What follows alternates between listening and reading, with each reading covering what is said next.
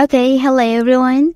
Here I want to provide you tutorial on how to turn off autocomplete suggestions in DuckDuckGo app on Android device.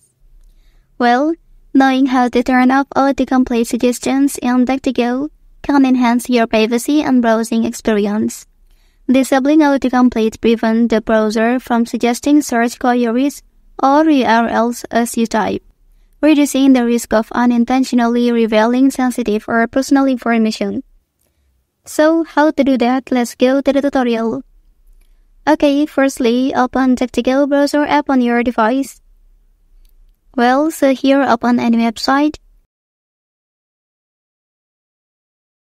And then look for this icon and tap on it. Okay, so select all settings option.